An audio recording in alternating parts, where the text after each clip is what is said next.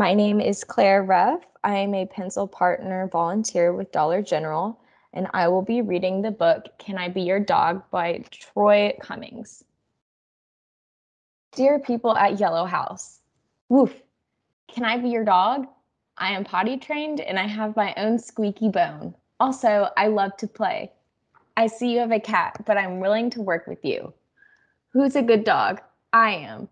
Sincerely, Arfie. P.S. I know every house on Butternut Street, but I asked you first.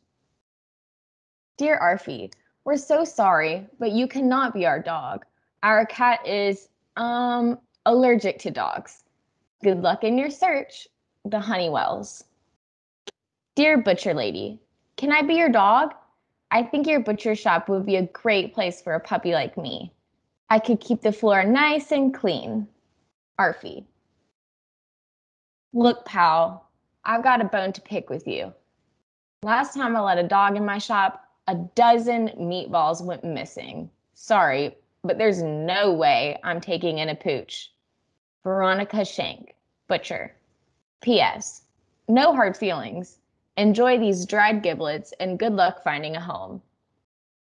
Dear station number five, can I be your dog? I can fetch your boots. Plus, let's just say I know my way around a fire hydrant. I've sniffed out every single one on Butternut Street.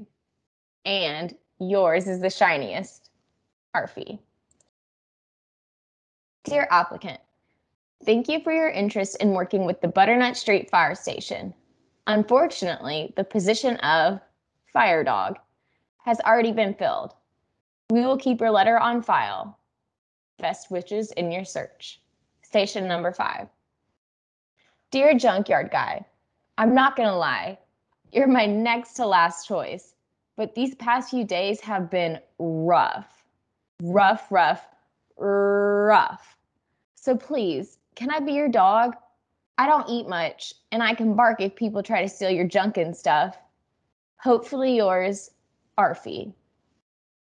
Dear Mutt, get lost. Dear last house on Butternut Street. Can I be your dog?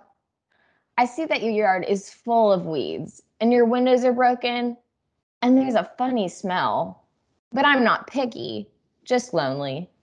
Arfie. Return to sender. Nobody at this address. To Arfie. Dear Arfie, can I be your person? I need a friend who will be with me no matter what. Snow, rain, heat, or gloom of night.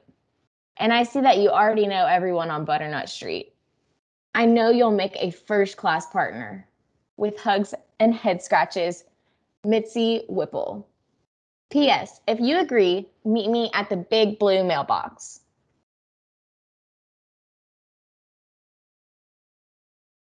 Dear Mitzi, you know what?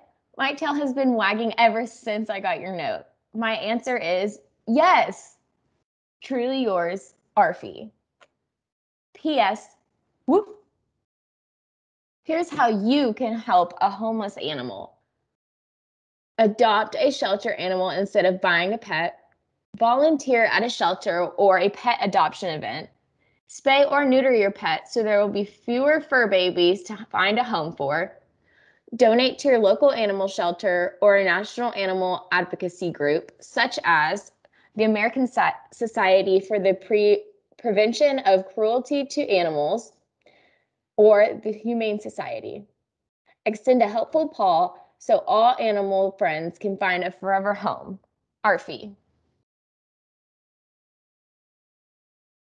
The end.